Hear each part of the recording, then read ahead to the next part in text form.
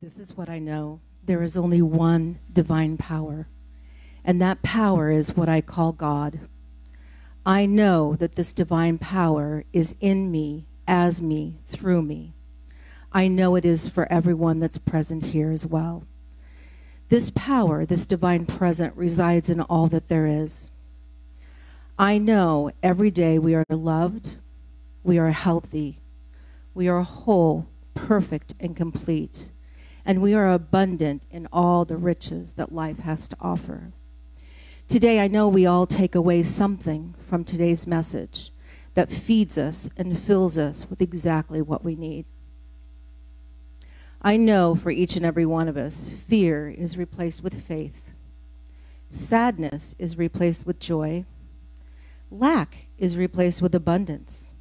Sickness is replaced with perfection. I know that it is always in, around, and through us, and that love conquers all.